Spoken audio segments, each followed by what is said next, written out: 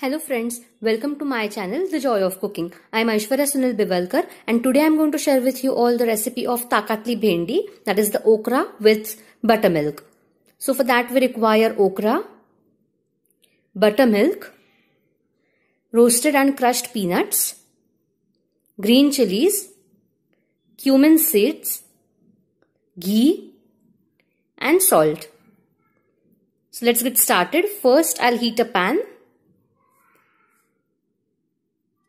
Once the pan is heated nicely,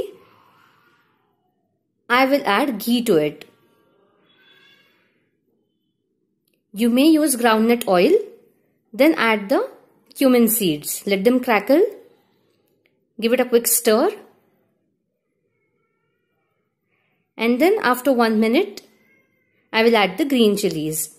On low flame, mix it and then add the okra. Now let the okra cook nicely. So adjust the flame accordingly. Make sure the okra does not burn. So to avoid that I will add salt and mix again. Add the salt as per taste. So keep mixing in between and this is how the okra looks when it's done. Now make sure to add the peanuts right here once the okra is done and let it cook for 2 minutes. Once done, we'll add the buttermilk.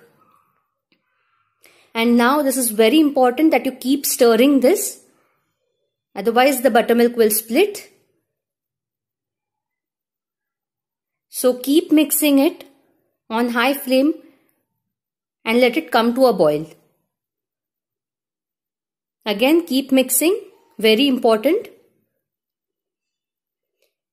And then switch off the flame. So this is how the okra with buttermilk is ready. Like my video share it subscribe to my channel the joy of cooking. I'll see you next time. Thanks